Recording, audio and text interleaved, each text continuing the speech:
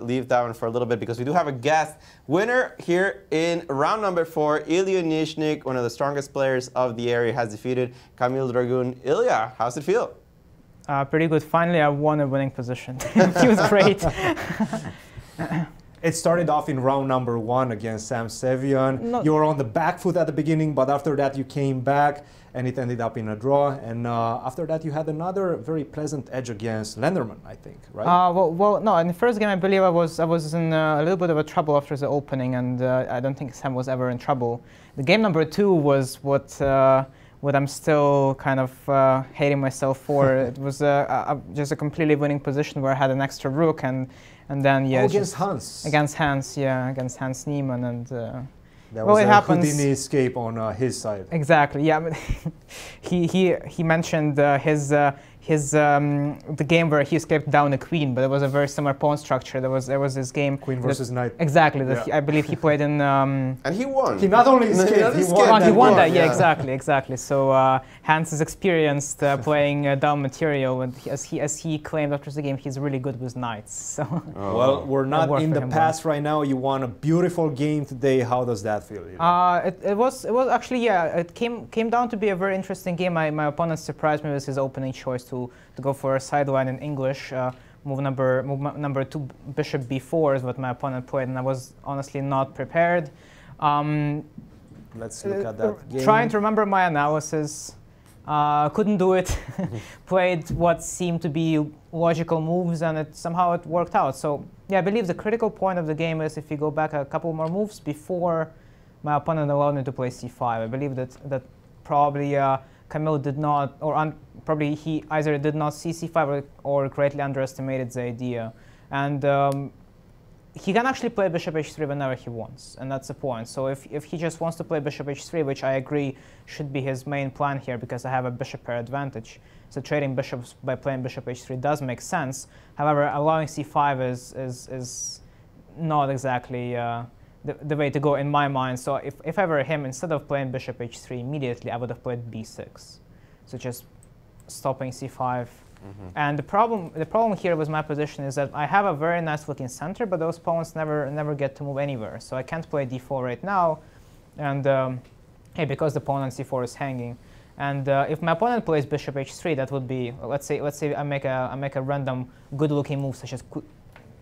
I'm not sure if that's a good looking move, but how about the queen e2? now if my opponent plays bishop h3, takes, takes, yeah, takes, takes. And uh, here I can try to play d4, but now after I go d4, I immediately get an issue with the c4 pawn. So I believe that my opponent's uh, play here will be based upon putting a lot of pressure against the c4 pawn by playing maybe knight a5, going back queen e6, and I wasn't sure what's going to happen. I believe that I would, I would have probably had to do this if I wanted to win, but yeah, I, I was, I was hesitant. Fortunately for me, uh, uh, yeah, Kamil, Kamil missed, missed on the c5 idea, and now my play is just extremely straightforward. And we do see a result that we had expected. Abhimanyu Mishra has defeated his opponent. That makes it two in a row for the youngster. Two in a row after. Uh, did he lose two? The first no, two? he He lost one of he them. He lost one against JJ, and he drew this, uh, the first one. and I think he drew the first game. Yes. That is true. So back to the game.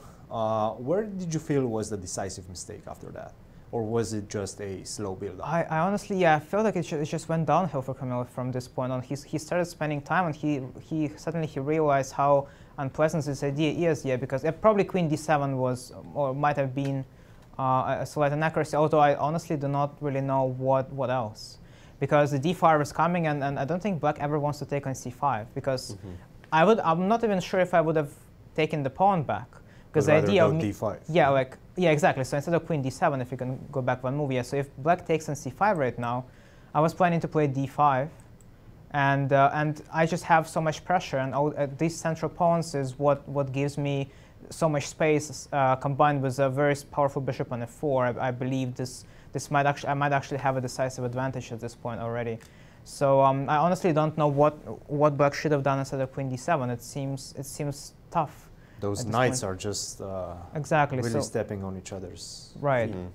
So yes, and here after I played d5, I'm not. I'm actually. I'm not. I'm. I'm not very happy with with uh, with how I played this position out. I'm, uh, everything I did looked logical, but but still, I didn't have or I didn't feel I didn't I didn't have as much as I would like to have, as much advantage as I would like to have, if that makes any sense. Yeah, so here I have an amazing pawn structure, and, and, and my main strength here is that even if, yeah, so this move c6 that I made, I'm, or, or, or right here, yeah. I, am not sure, I couldn't, I, I was trying to make it work without playing c6, Mm-hmm.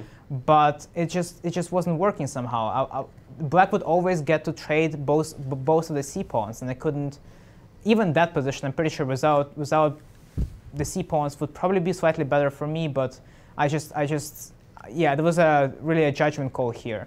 I decided to go for, for, for this structure where uh, obviously the, the space is my main strength, and uh, if the, the only my only issue with this position is that if black somehow manages to get their net over to d6 here, um, it's not going to be as clear anymore. Because So the only way to do that is via E e7, c8, or h8, f7. Exactly. This is exactly why I included the move knight f3 earlier, so that the knight has to go back to so, so, that- so that the knight has to go to g6 right right here. Actually, the engine does not really like the move knight g6 surprisingly, even though I said that was the only move here. I guess Maybe he just wants to give up the pawn. no, I Yeah, guess the alternative. c5. Yeah, alternative was to take on c5, but I, I, I believe it would be it, black would get himself himself in trouble by by having this this double pawn structure, and yeah, I, I just felt wrong. So I, I was I was totally expecting everything that's happened, and here yeah here I suddenly realized that I. I, I missed I missed my opponent's counterplay. So here my original plan was to play knight d2 right now. Knight to f4, maybe? Yeah, exactly. Knight f4 was what, what I vastly underestimated. And here there's this one, knight c4. Uh huh. Mhm.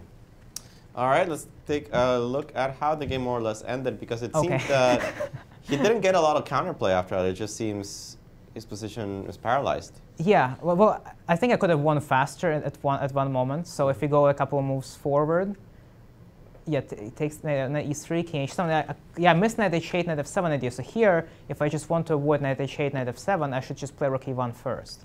And I believe the difference is that my rook gets to a7, and I'll have queen e7 in the end. So I'll I'll apply a lot of pressure on the seventh You're rank. not in time to get to And- d6. Yeah, and black is not, it's one move too short to get their knight to d6 Mhm. because the c7 falls. So I think this was, I, I, I was, I was very unhappy with myself that I missed such an easy plan. And uh, after knight f5, actually, black is right on time.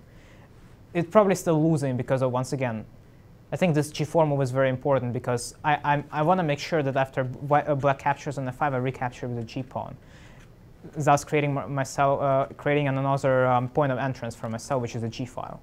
So at this point, I think Kamil was in a, in a, in a, in a time pressure, and he, yeah, he, he, he tried doing something, but it's, it's really difficult. Yeah. it's really difficult when you can barely move, especially And- with no time. We do have another result. Christopher Yoo has won Wow. against uh, JJ Ali Marandi. The youngsters on a roll today here in Group B. Nice. Actually, I didn't expect uh, uh, Christopher to win. He looked like he might have been in a, a little bit of a trouble there, but that's discussion for another time, I guess. He pulled he pulled us through. Uh, what did, what First say? win, yeah, I'm, I'm, I'm extremely happy with myself, and uh, what can I say? Yeah, and this is just crushing. Right. Beautiful game, Illya. Always a pleasure to see you breaking through, and uh, good you. luck in the rest of your games. Thank you so much, so much Ivan. Thank you. Alejandro. Thank Good you for guys. joining us here, Illya, for